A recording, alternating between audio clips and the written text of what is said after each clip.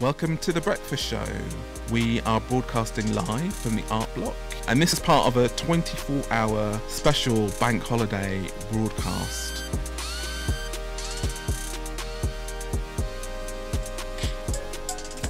What's up, people? From the South London Gallery and Resonance FM, this is the Bank Holiday broadcast.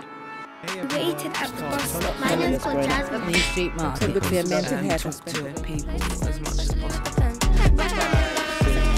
It's been going since midnight, so hopefully you've been listening.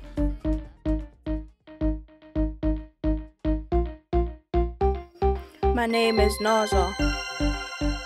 N A Z A they say they want to move a little faster. Are you the trombone player whose rehearsals can be heard across the estate? South London Gallery are making a day of radio that will be broadcast on the 31st of August with Resonance FM, and we'd love to feature you. I'm unstoppable. Nothing is impossible. Man said try hard. Okay, we're on the radio now.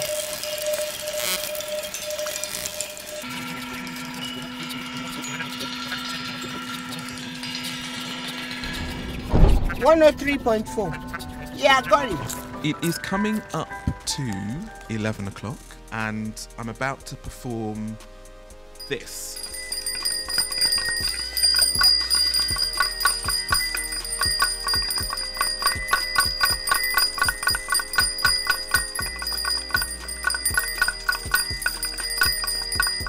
So that was the 11 o'clock bell. This is Bank Holiday Broadcast on Resonance FM. Liz Sidthorpe is in the building. She'll be talking about Mistral Gardens. She's talking about um, Albert the cat and uh, these amazing noises that Albert makes. But I think we're going to go to our first phone in.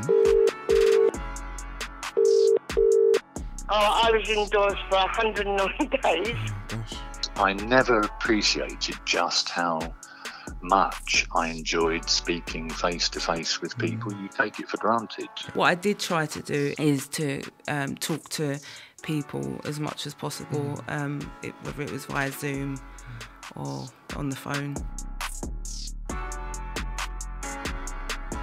You mind if I ask you about, about coronavirus? How was it for you?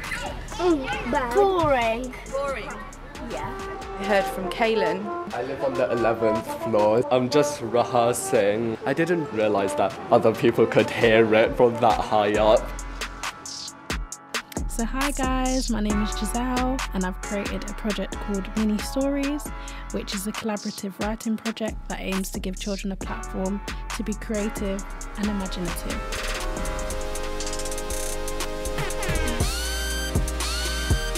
From the Sceaux Gardens, Elmington, and Pelican Estates, This is Bank Holiday Broadcast on Resonance FM.